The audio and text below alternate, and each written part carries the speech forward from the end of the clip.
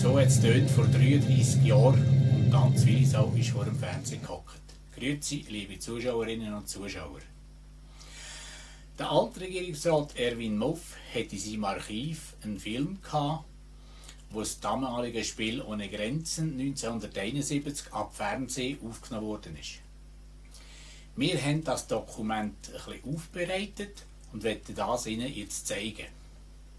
Es ist uns gelungen, den damaligen Teamcoach, den Gotti Marbach, zu organisieren und er wird Ihnen noch ein paar Erinnerungen erzählen, wie das hier etwa war.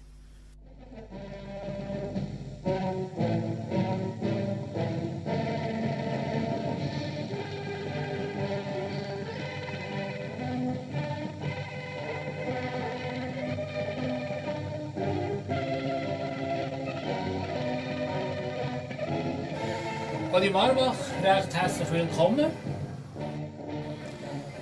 Wie ist man eigentlich zu dieser Chance gekommen, an dem Spiel ohne Grenzen überhaupt mitzumachen?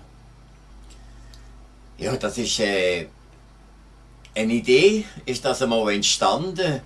Ich weiß das nicht mehr genau. Ziemlich sicher ist da äh, dabei gewesen, äh, der ehemalige Stadtpräsident, leider verstorbene Stadtpräsident heute, der Heiri Zust. Ganz sicher ist dabei der Erwin Muff, der damalige Stadtdame. Und äh, vermutlich ich auch. Und wir haben dann einmal den Entschluss gefasst, dass man doch einmal versucht, sich zu melden beim Schweizer Fernsehen. Das ist äh, so gegangen. Der Stadtrat hat die, die Bewerbung abgeschickt. Und das sind, wenn ich mich recht erinnere, vielleicht drei oder vier Monate gegangen äh, haben wir Bescheid bekommen, dass wir einen Besuch bekommen vom Schweizer Fernsehen. Und das ist der damalige Chef von dem Spiel ohne Grenzen, der Toni Wachter. Wie äh, hat man die Mannschaft dazu mal zusammengestellt? Was sind da für Kriterien äh, notwendig gewesen? Ja, das ist natürlich Peter äh, der gleich losgegangen natürlich, wo wir, wo wir die Zusage bekommen haben, ist natürlich dann die ganze Arbeit mehr oder weniger, muss ich sagen, äh, zu mir gekommen. Wir haben dann eine Ausschreibung gemacht in der Lokalzeitung, haben den Aufruf gemacht, vor allem natürlich an die Sportvereine von Willisau, wo es ja sehr viel gibt und sehr gute Sportvereine, sehr gut geführte Sportvereine in Willisau. Und dann haben sich hier an die 70 Sportlerinnen und Sportler haben sich dann gemeldet. Wir haben die Sportlerinnen und Sportler, die 70 an der Zahl, haben wir dann zusammengezogen in eine erste Orientierungsversammlung in das legendäre Bahnhofsäle runter. Dort oben der Boden allen ein bisschen knistert und knackstert hat, wenn man hier ist. Und wir haben dann dort oben einmal den Tarif bekannt geben. Was hier oben äh, denn in dem Spiel, in dem Solothurn oben muss laufen, an dieser Vorausscheidung. Wir haben gesagt, was wir verlangen an Trainings, was wir an Disziplin, was wir erwarten von jedem Einzelnen für seinen Einsatz.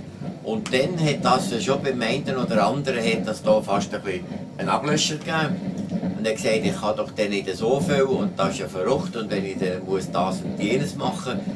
Und wir haben die Training angefangen, rund drei, vier Jahre, bevor wir auf Solothurn zum Einsatz gekommen sind.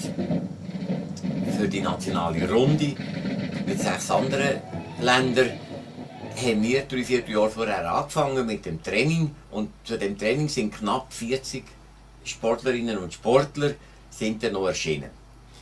Das Ganze ist dann auf einem, glaube ich, heute sagen zu dürfen, und die, die dabei sind, unter anderem du, Peter, selber auch, ihr müsst eigentlich durch ein Herzloch durch.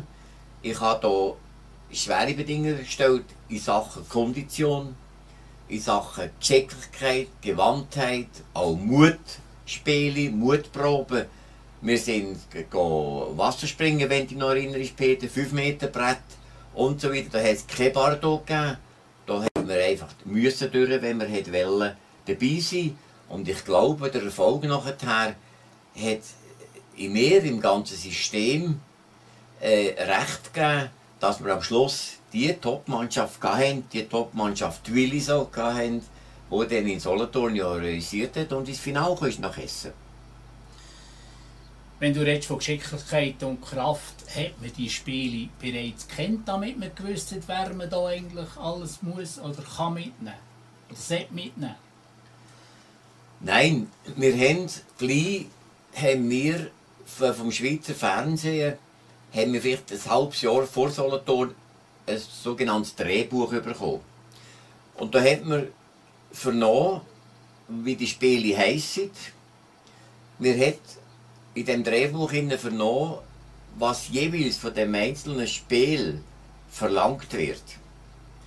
Wir hat gewusst, dass zum Beispiel Kraft verlangt ist. Wir hat vernommen im Text über das Spiel, dass Gewandtheit äh, gefragt ist.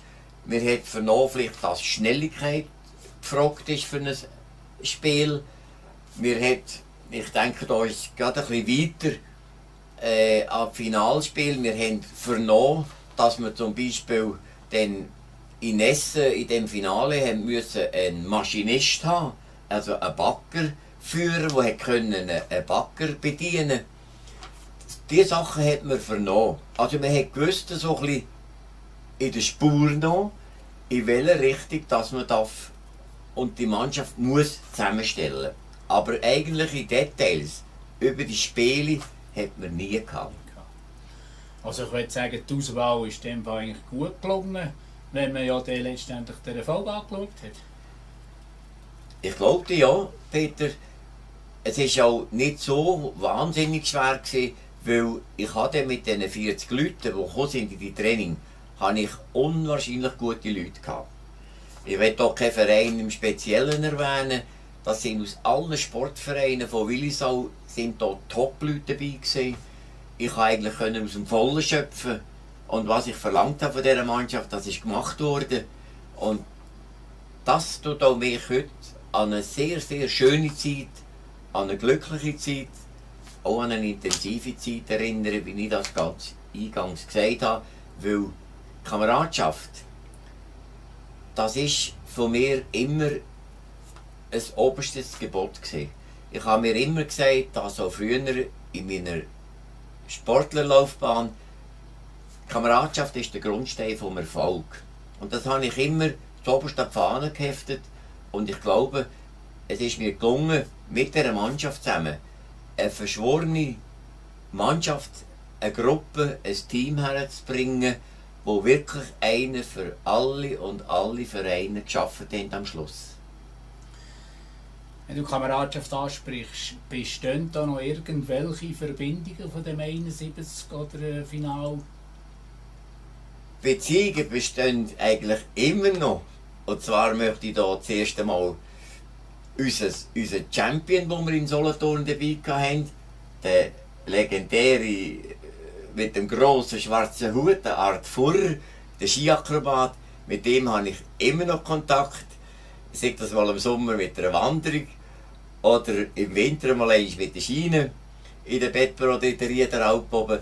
Die Beziehung steht noch. Was ich aber ganz speziell erwähnen Peter, und auf das bin ich sehr, sehr stolz, dass mit der Mannschaftsführung von der Finalmannschaft Deutschland, das ist ja Offenburg gesehen, in der schönen Ortenau dass ich heute noch mit der Teamführung, mit der Mannschaftsführung Offenburg Spiel an der Grenze 1971 und heute ist 2004, 33 Jahre, habe ich mit der Teamleitung immer noch sehr gute Verbindung und Beziehung. Ich gehe dann etwa nach Deutschland raus, nach Offenburg an ein Weinfest oder sonst irgendetwas und sie kommen etwa alle zwei, drei Jahre in die Schweiz mit mir Skifahren. Und das ist eine wunderschöne Sache, würde ich sagen, das hat also für mich persönlich aus dem Spiel ohne Grenzen, hat das für mich eine Freundschaft über die Grenze gegeben, bis jetzt vor 33 Jahren. Schön, das heißt also, der Tattoo stimmt, Spiel ohne Grenzen, Bekanntschaft über die Grenzen. He? Absolut, du sagst das richtig, Peter.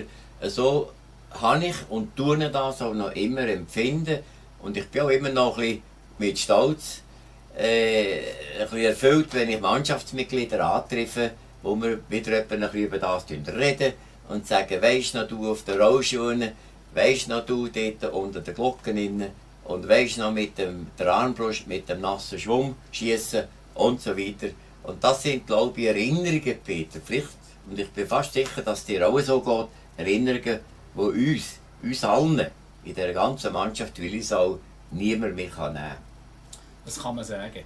Godi Marbach, ich möchte dir recht herzlich danken, dass du dir Zeit genommen hast, uns dann noch ein bisschen in die alten Zeiten zurückzuführen. Und wir werden doch jetzt miteinander anschauen, wie wir, wir hier gespielt haben im 71 in Solothurn. Danke vielmals.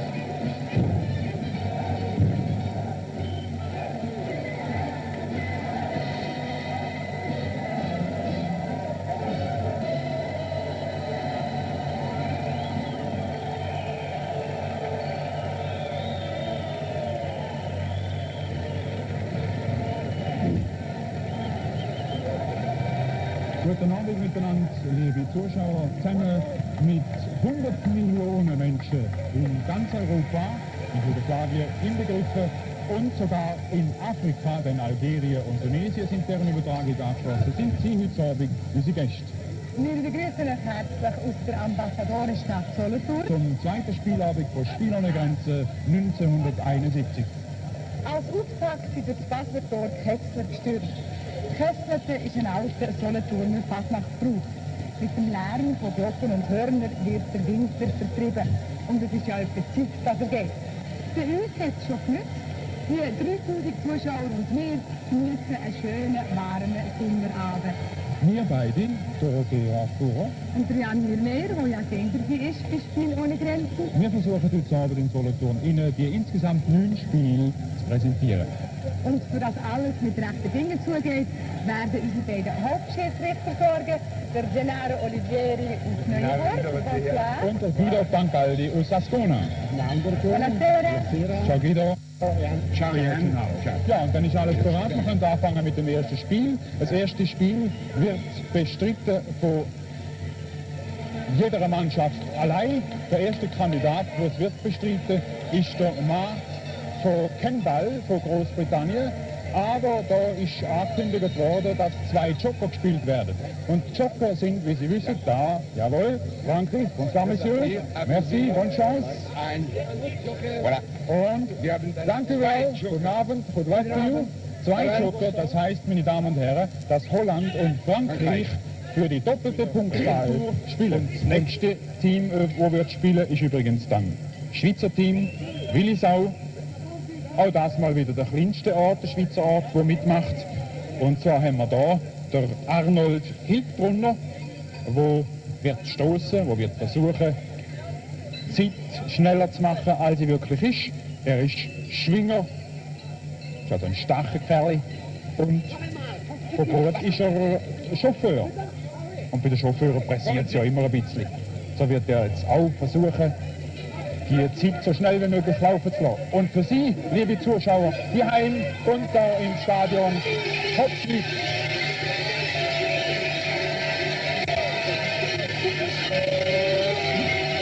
Achtung! Achtung! Drei, zwei, eins und los geht's!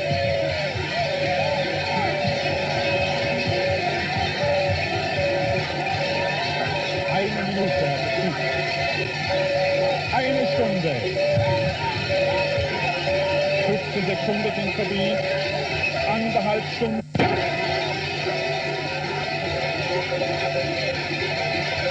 Zwei Stunden sind vorbei und 25 Sekunden.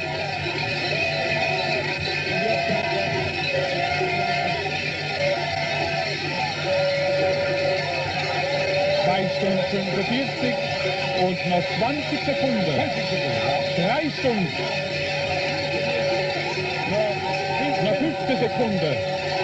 Und dreieinhalb, zehn. Noch fünf Sekunden. Drei, 45. Und Schluss. Fast vier Stunden. Fast vier Stunden. Dürfte die zweitbeste City so gegen vier, aber nicht ganz vier.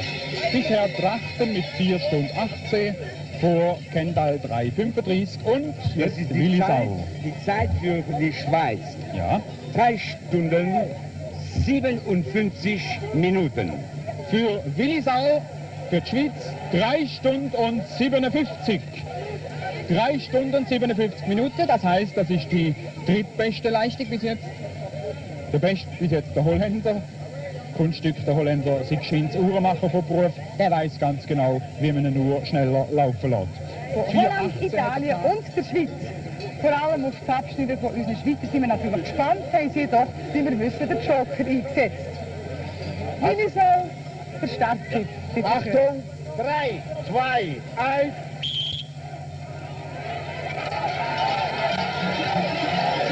Willisau ist ja die größte Stadt, die heute 2800 Einwohnern.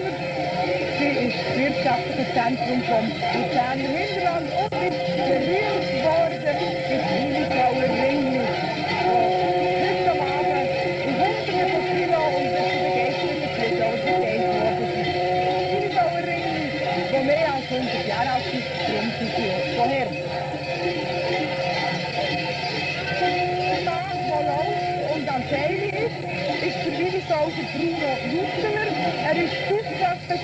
Im Ringen und Luzerner kantonale Schwingerkönig. Darum hat er auch so Kraft. Von ist er Metzger. Halbzeit.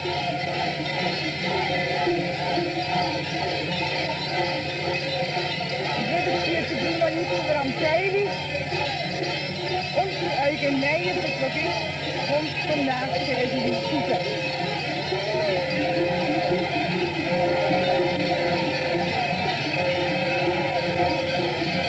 raus. Großbritannien bei diesem Spiel passt.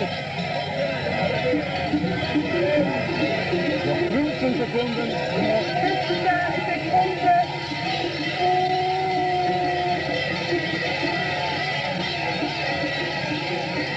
Eugen Meier ist leider noch ziemlich tief vor der Stange, langsam vor der Achtung. Stange. Der Jutzner bemüht sich, aber es ist spät, fertig.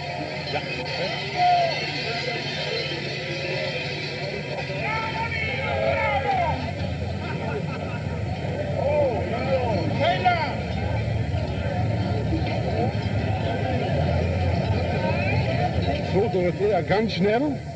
Also wir haben Schweiz mit fünf Edelweisen. Schweiz, Mannschaft von Willisau, fünf Edelweiss. Italien sechs Melfi, sechs Edelweiss. und Holland fünf. Trachten, fünf Edelweiss. Geben wir die Punkte. Für Italien sechs Punkte. Italien, Melfi, sechs Punkte. Schweiz zehn Punkte mit dem Joker. Willisau, wo der Joker eingesetzt hat, zehn Punkte. Holland 5 Punkte. Trachten 5 Punkte. Frankreich ebenfalls 5 Punkte. Mühlhausen hat auch 5 Punkte. Deutschland 2 Schwabach 2 Punkte. und Belgien einen Punkt. und Belgien ein Punkt. Und jetzt möchten wir gerne einen Überblick haben über den Spielstand. Bitte Jan Giermeier. Und wir machen rasch einen Blick auf das Zwischenklassement. Es führt in dem Zwischenklassement Trachten vor Mühlhausen und wir haben an dritter Stelle Kendall. Da steht es jedenfalls dort oben, aber bitte, wir werden es nachher noch einmal anschauen. Wir kommen zum ersten Mal zum Zwischenspiel. Hier in Solothurn haben wir eine Skipisten aufgebaut. Der Schnee schmilzt aber nicht, denn es handelt sich um einen rollenden Teppich. Und unser Champion, der Arthur, demonstriert, dass man auf so einem Teppich sogar kann Skifahren kann. Arthur ist zehn Jahre lang in Amerika gewesen und ist der Erfinder von der sogenannten Ski-Akrobatik. Er ist Walser und heute für Willisau mit Handicap dann ein Zwischenspiel. Merci Arturo. Ja. Und der nächste Konkurrent kommt aus Belgien. Non, jetzt die Schweiz. Ah, jetzt kommt die Schweiz, Entschuldigung. Ja.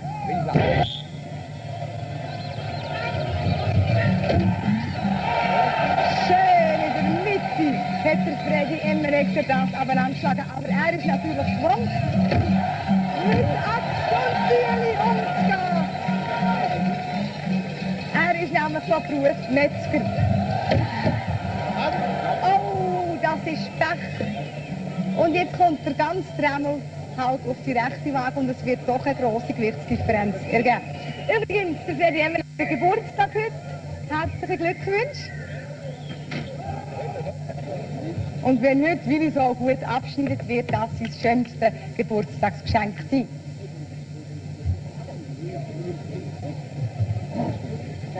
Er ist übrigens, das wollte ich nicht vergessen zu sagen, Gewichtsdifferenz sechsfacher für Willi kantonaler Sau. Ringermeister. Für die Schweiz 3 Kilogramm, 50.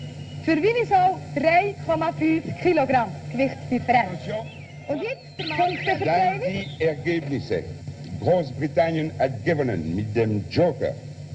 12 Punkte. Großbritannien 12 Punkte. Kendall, wo der Joker eingesetzt hat, 12 Punkte. Holland 5 Punkte. Mannschaft von Drachten hat 5 Punkte. Die Schweiz 4 Punkte. Willisau hat 4 Punkte. Belgien 3 Punkte. Belgien 3 Punkte. Frankreich 2 Punkte. Mühlhausen 2 Punkte. Und für Italien einen Punkt. Und Melfi hat leider nur 1 Punkt. Wir liegen mit Willisau also immer noch gut im Rennen an zweiter Stelle. Das vierte Spiel ist eine Erinnerung an wichtige Begebenheiten in der Schweizer Geschichte, nämlich an Vico Toriani seinen goldenen Schuss und an Wilhelm Tell seinen Öppelschuss. Es sind zwei Durchgänge vorgesehen an drei Teams. Erster Durchgang Niederland, Deutschland all eine. Und der nächste Durchgang wird schon vorbereitet und da haben wir von links nach rechts dann Belgien, also St. Niklas in der Mitte dann unsere Schweizer. Und das sollte eigentlich laut unserer Tradition gut gehen. Wir haben den Vater Tell, der Franz Huber, der Walter Tell, der Bernhard Müllemann und jetzt bereit. Alles Achtung, Verrat! Ganz rechts. Und los geht's.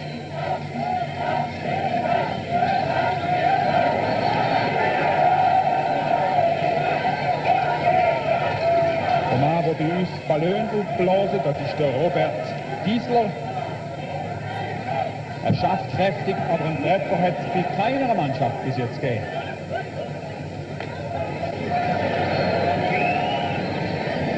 Die Schwämme werden zuerst nass gemacht, damit sie ein bisschen Gewicht bekommen. Ja, bekommen, ja. Das war des Belgiers Geschoss und das war Franz Hubers Geschoss. 1-1 zwischen Belgien und Schweiz. Der Italiener hat noch nie getroffen. Und jetzt auch. Zwei für die Schweiz, eine für Belgien, eine für Italien. Drei für die Schweiz. Und noch 35 Sekunden, 35 Sekunden.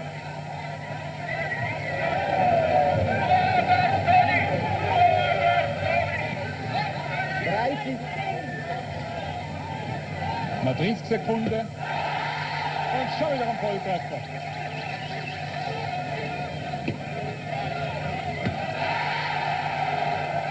Fünfte Sekunde. Die Italiener haben scheinbar Schillers Wilhelm Tell noch nicht gelesen. Aber die Belgier haben gut aufgepasst. Fünf Sekunden, jetzt hat es auch beim Melfi das erste Mal geklappt. Achtung! Fünf Sekunden und Schluss.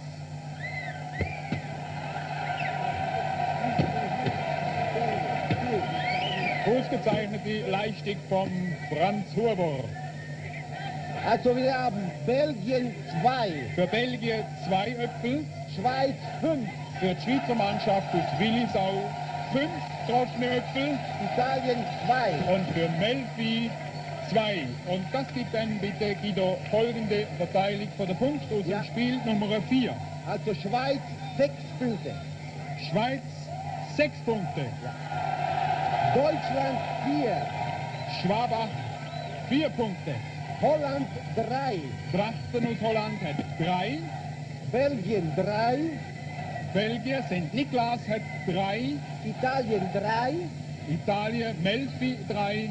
Und Großbritannien einen und Punkt. der Robin Hood hat für heute mal versagt und hat nur einen Punkt können rausholen und ein Blick auf das Zwischenklassement, das führt jetzt Trachten immer noch mit 23 und gleich auf ist Willisau mit ebenfalls 23 Punkten und jetzt über Spiel raus. Und im nächsten Durchgang sehen wir am nächsten der Kamera für Sie am Vordergrund im Bildschirm die Schweizer Mannschaft Willisau in der Mitte Schwabach und ganz außen dann Mühlhausen. Für Willisau startet Margret Markfurt, eine 17-jährige Arztgehilfin. Sie macht also da ganz etwas anderes, hat mit ihrem Beruf gar nichts zu tun. Wir können sagen. Und, und los geht's.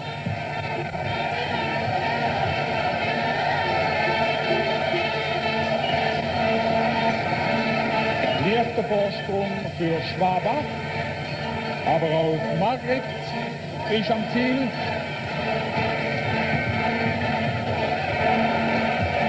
Meitli von Mühlhausen hat ein Schwierigkeiten mit ihrem Glöckner von Notre Dame. Leichter Vorsprung für Schwabach vor Willisau.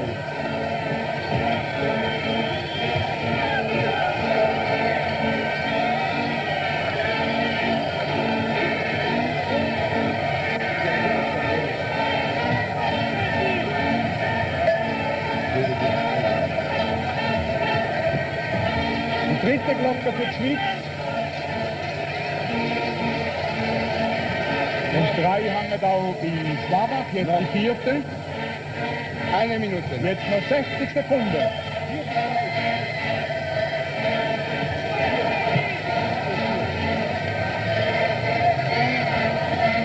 Die Italienerin hat, hat aufgeholt.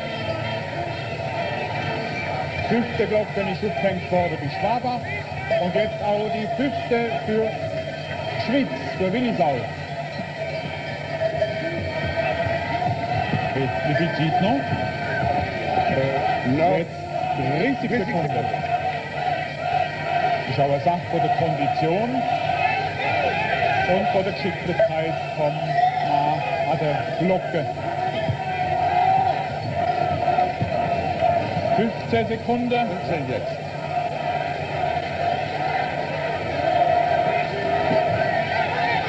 Silberglocke bei Schwabach.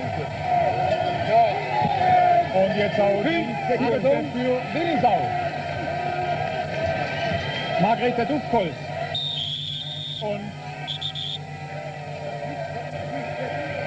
jetzt erwarten wir das offizielle Ergebnis bis jetzt Bestleistung von Melfi mit 7 und Großbritannien 6 und Belgien Punkte. 5 Punktzahl. Für Deutschland mit dem Joker Schwabach hat den Joker gespielt. 12 Punkte. 12 Punkte für Schwabach. Nachher für Italien mit dem Joker auch. Italien hat auch den Joker gespielt. 10 Punkte. Macht 2 mal 5 gleich 10 Punkte für Melfi.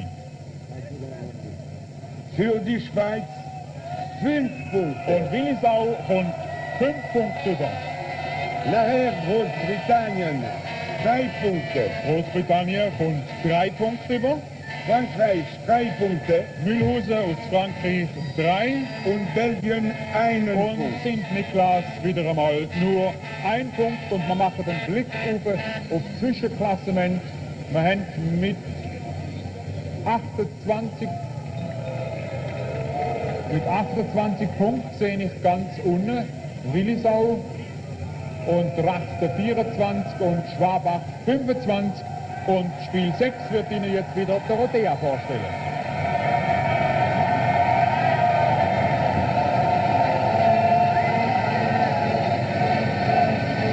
Im sechsten Spiel geht es darum, ein Walliserbiss, also eine hölzige offene Wasserleitung zu rekonstruieren. Jetzt haben wir für den zweiten Durchgang bereit gemacht Mannschaften von Deutschland, der Schweiz und von Großbritannien.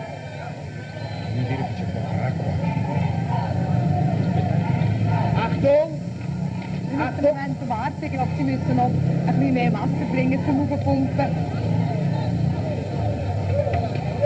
Die Tafeln gehören noch her, die Schweiz in der Mitte, flankiert von Großbritannien ja, und Und jetzt kann es losgehen. Achtung, 3, 2, 1.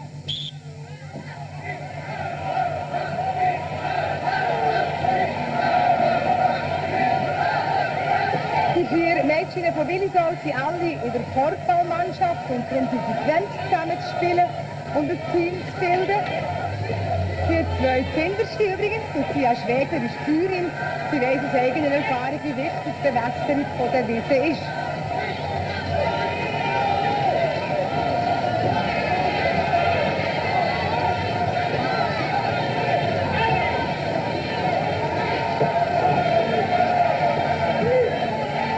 Ja, die hinterste Konferentin von der Schweiz hat ein bisschen Mühe. Es ist Anita Hessiger, die Drogistin, die wir schon bei der Edelweiss gesehen haben.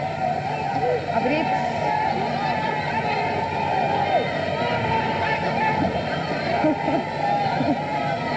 ja, die balancieren auf dieser Gigante und dann noch äh, Walliser bis auf den Kopf tragen, das ist kein Kinderspiel. Noch 30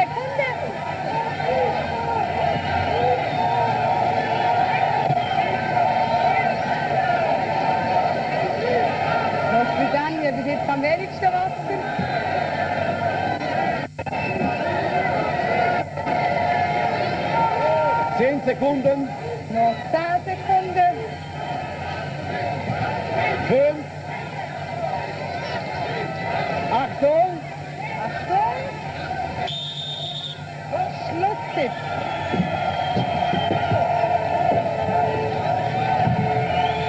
Es ist kein Joker in diesem Spiel eingesetzt worden, weil nach der einzigen Probe, die Mannschaften hatten, alle gefunden, dass sie weitaus das komplizierteste Spiel und darum hat keiner getraut, den Joker einzusetzen.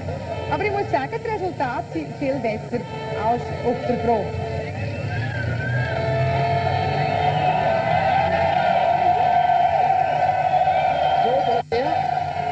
Wir haben für die Schweiz 12 Für cm, Willisau 12 cm. Schweiz 16, Moment, dann haben die sich geirrt. Das für- war nicht das erste für Mal, das war nicht. Schweiz, für Deutschland. Die ersten zwölf. Punkte Ja. gehen nach Deutschland, nach Schwabach. Da haben die sich geirrt, Ja. Herr Frankali. und dann Schweiz 16 cm. Willisau hat 16 cm. Zum Glück hat er es trompiert. Und Großbritannien 5 cm. Ne, äh, Großbritannien, Kendall 5 cm.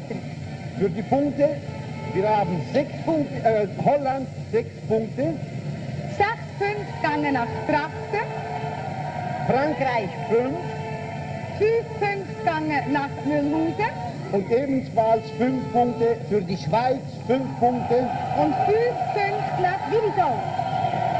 und dann Deutschland 3 Punkte, 3 Punkte für Schwabach, Italien 2 2 Punkte für Melfi und Großbritannien 1 Punkt. und ein Punkt für Kendall.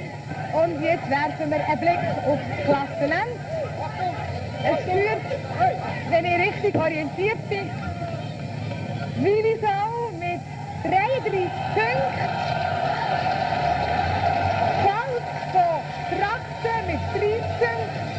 Und an dritter Stelle ist der Schwabach. Die Mannschaft von Mühlhausen, ein Punkt. Werfen wir wieder einen Blick auf Klassement. Trachten führt Mannschaft von Holland, folgt aequo. Schwabach und Willisau ex aequo. Und jetzt kommen wir zum Champions-Spiel. Bitte, Jan Hirmeier. Wir kommen zum letzten Mal zum Zwischenspiel, zum Phil Rouge, zum sogenannten Champions-Spiel. Und der Champion ist einer vom Fernsehen gesuchter Spezialist für das letzte Spiel, der für das Gastgeberland spielt, also für Willisau, in diesem Fall der Arthur. Ist der Arthur bereit? Ja. Achtung, Achtung, Achtung. 3, 2, 1. Wichtig ist, dass der Champion das Spiel mit einem Handicap muss spielen muss. Er muss sich nämlich noch zwei Hürden, die er auf dem Kopf hat, einmal um sich selber drehen. Aber seine Zeit ist die gleiche. Der Arthur hat mir gesagt, dass dem Schnee wäre das ein Kinderspiel, aber auf dem rollenden Teppich ist es eine große Kunst.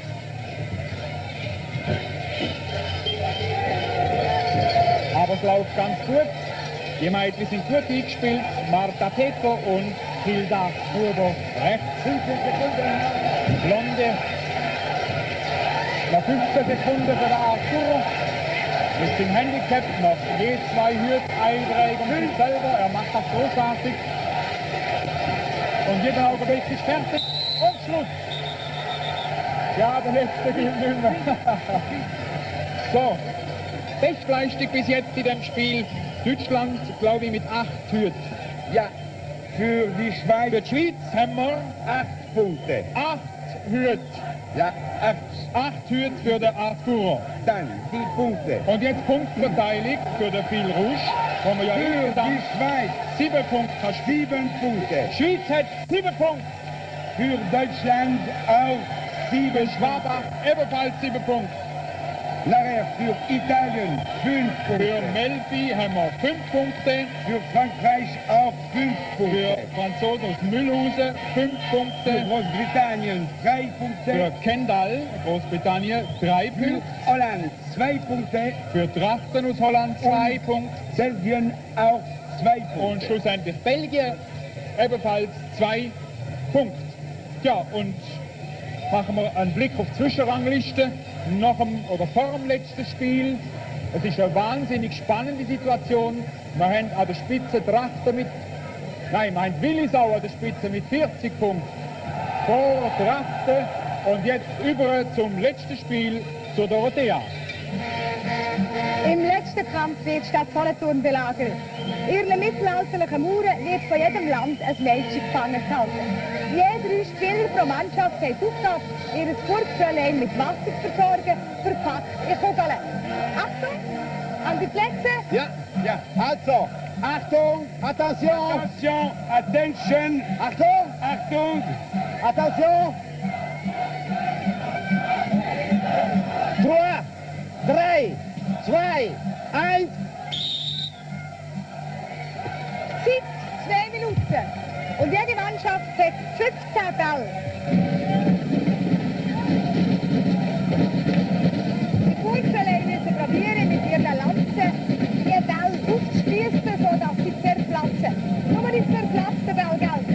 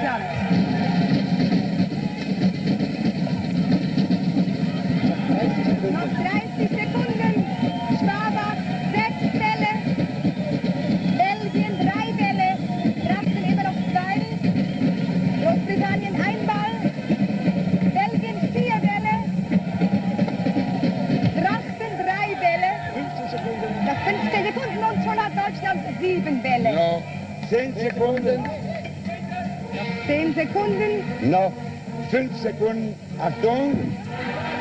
Zwei.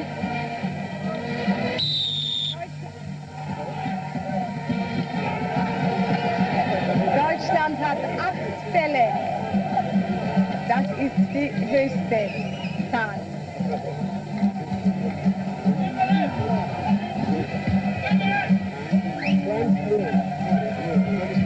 Also die Buchfräulein haben gute Arbeit geleistet. Und nun Ja. die Bälle Ja, jetzt geben wir sofort die Punkte. Die Punkte. direkt zur Dem- Punktzahl. Jawohl? Also, mit acht Bällen Deutschland sieben Punkte. Deutschland sieben Punkte. Sechs Punkte. Mit vier Bällen Belgien sechs Punkte. Mit drei Bällen Holland fünf Punkte. Holland hat drei Bälle aufgespießt und bekommt fünf Punkte. Großbritannien mit einem Ball, einen Ball, vier Punkte. Kendall ein Ball und vier Punkte. Schweiz vier Punkte. Willisau ein Ball und vier Punkte. Italien und Frankreich mit null Punkte haben wir Italien einen Punkt Italien mit null Bällen ein Punkt. und Frankreich einen Und Punkt. ebenfalls Ja, weil, Mülhus mit ein Punkt. weil sie keine, Ergebnis erhaben. Sie haben keinen einzigen Ball. So, und jetzt sind wir gespannt, wie die Schlussklassement aussieht und wer der Sieger vom heutigen Abend ist. Bitte, Jan.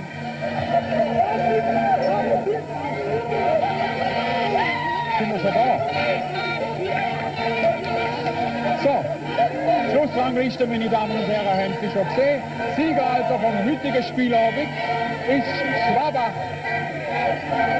Das ist der Captain, Captain, der Captain. Ich darf Ihnen herzlich gratulieren. Ich bin sicher, heute in Schwabach gibt es ein Volksfest. Ich darf Ihnen die Trophäe überreichen. Ich gratuliere. Auf dem zweiten Platz haben wir selbstverständlich das Gurkenkampf und die Schweizer Mannschaft.